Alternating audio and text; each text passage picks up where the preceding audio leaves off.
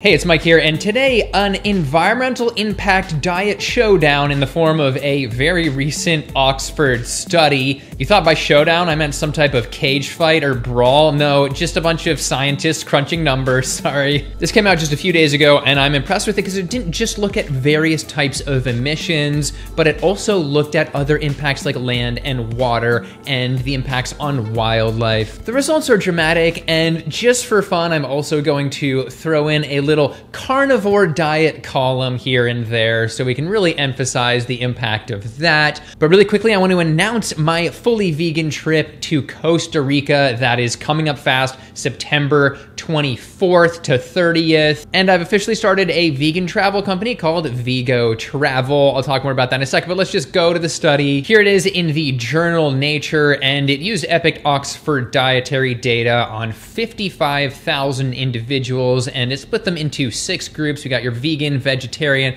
pescatarian, and then three levels of meat consumption. And we always have to look right to the conflicts of interest. And in this case, no conflicts of interest. No, this wasn't funded by vegans making meat eaters look bad, Incorporated, which is a company that I should probably start. Why not? Start another one.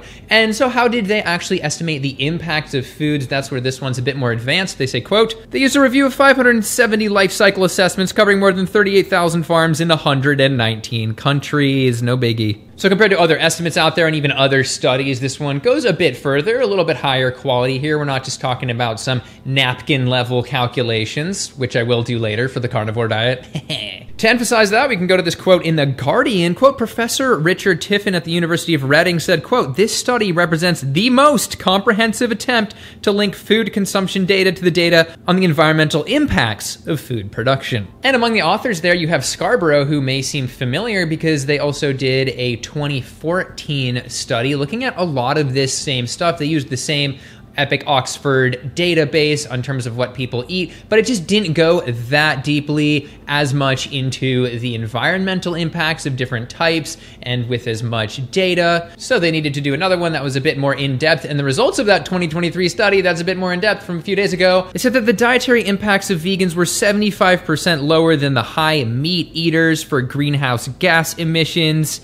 And fun fact, as this paper mentions, that high meat category is over 100 grams, really just the average American who eats between 100 and 150 grams of meat per day. This is important because a lot of people in the US would probably think that they would qualify as medium meat eaters because they just kind of eat what seems like an average amount of meat. Well, no, that is high, and people just like to look at themselves in the best light. We all do it. And they broke emissions down further in Table 2, which shows a comparison of all groups for emissions in terms of CO2, methane, and nitrous oxide. Now, look at that middle column for methane vegans are about 15 times lower than high meat eaters. And this is where we can really start to see a breakaway between vegans and the rest of the pack, even including vegetarians. You can see a pretty big gap between the vegans and the vegetarians, even. And that really is a theme of the study that there are many pretty big benefits that you get from making that jump from vegetarian to vegan. For nitrous oxide, vegans were also three and a half times lower than your high meat eaters. Let's just call them average Americans.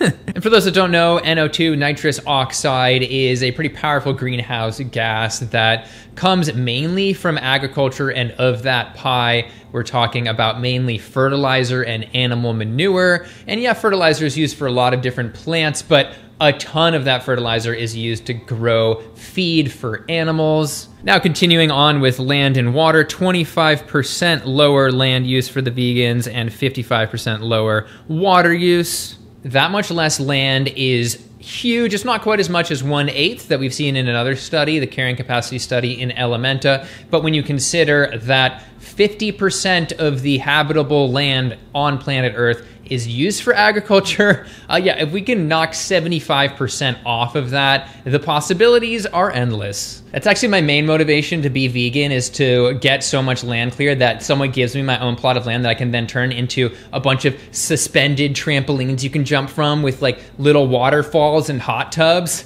And this is really where the one two punch of emissions comes in of not just saving, reducing emissions with the vegan diet, but freeing up land that can do so. 75% less, you can then do things like plant trees or whatever plant is most appropriate to the biome so that you can sequester a ton of carbon I did a quick calculation a while back that if the US did that and planted as many trees as possible, that could maybe offset about 80% of emissions, which would be pretty amazing but it would take a while to get there. 55% less water use, that is quite a big deal, but then I can't help but think of all the water use analyses I've done in previous videos, especially in areas where water really does matter, where there is water scarcity, like in the American West, my video on the Great Salt Lake and my video on the Colorado River, where, you know, we're talking at least 70% of that water, oftentimes virtually all of the water in those areas, depending on where you're looking, which state, is used for animal agriculture agriculture. So for whatever reason in these water scarce areas, we love to just dump water into animal agriculture. And so I think a vegan diet would actually make a bigger difference here than that 55% figure it leads on.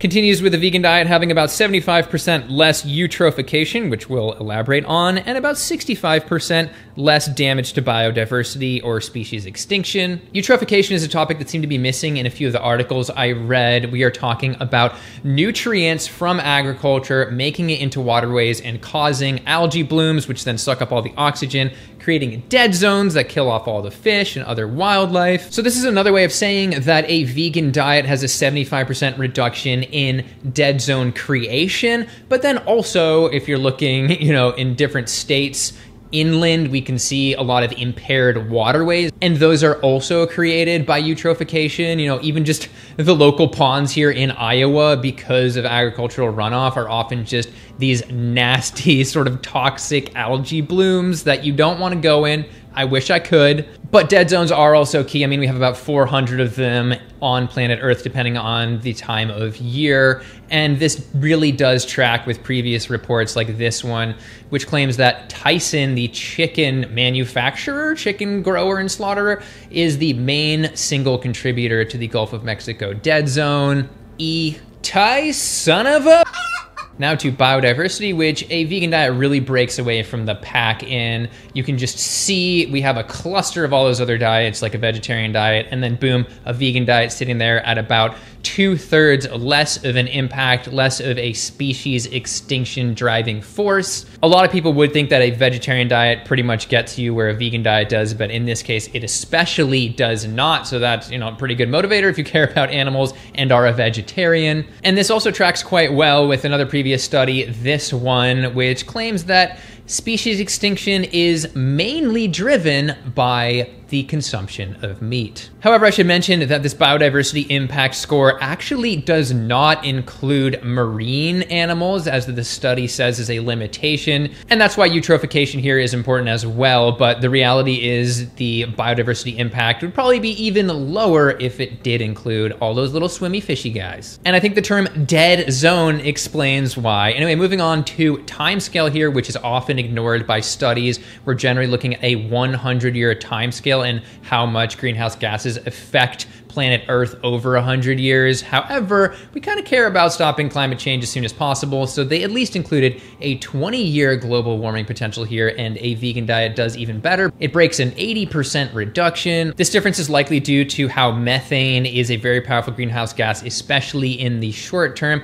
However, like I mentioned in the past, none of these studies ever include the airborne fraction, which is where you know, virtually all methane is making it up into the atmosphere, but less than half of CO2 does, just based off it getting sucked up by trees and the ocean and things like that. So you basically need to double the methane impact there. But let's just move right along to carnivore diets.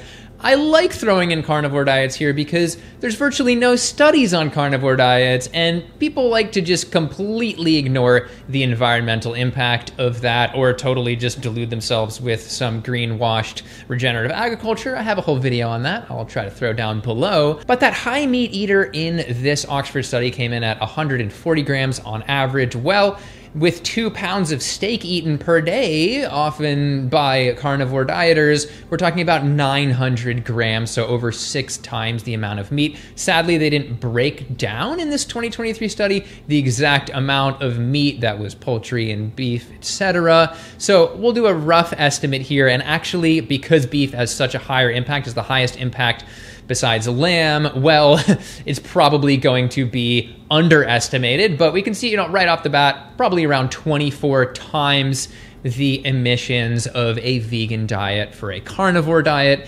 Looking to biodiversity, that also lands in at around 24 times the species extinction on a carnivore diet, which, if you're on that diet, you probably don't care about animals, but you know, maybe you care about the planet a little bit, so I don't know. Meat eating alpha males don't need a planet to live on.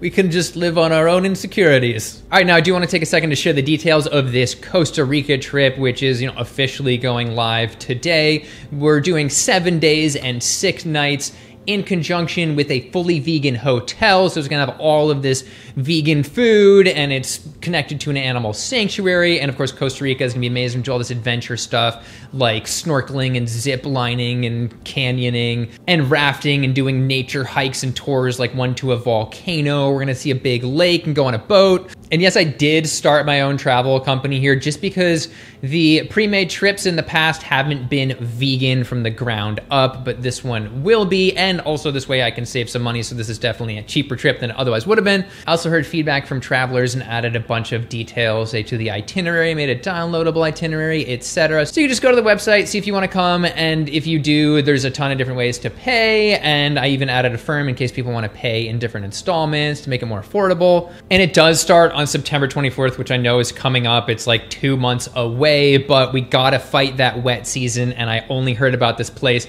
pretty recently. So let's make it happen. Link below. But going back to the study, in the end, yeah, looking at what is probably the highest quality study on this topic, we see an even more emphasized benefit for people going on a vegan diet 75% lower emissions 80 plus percent lower emissions if you're talking about a 20 year time frame and just so many environmental benefits. I'm so happy they looked at biodiversity and sort of dead zone creation power. Now until now we haven't actually had a study saying a vegan diet reduces those by this much and now we do which is awesome and it's going to be a lot easier to just talk about these subjects. And finally we of course see that stepwise decrease from high meat less meat less meat, pescatarian, just vegetarian, and then even that breakaway with the vegan group there on several metrics being like, hey, you know, a vegetarian diet helps, but oftentimes you're cutting it down again by like 50% by going vegan, which is incredible to see. All right, let me know down below what you thought about this study, if there's anything I missed in there, and of course, feel free to like, subscribe,